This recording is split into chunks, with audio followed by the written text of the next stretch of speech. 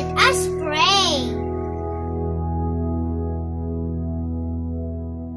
Dear God, thank you for this wonderful day. Please help us and guide us for all our lessons and activities for today. In Jesus' name.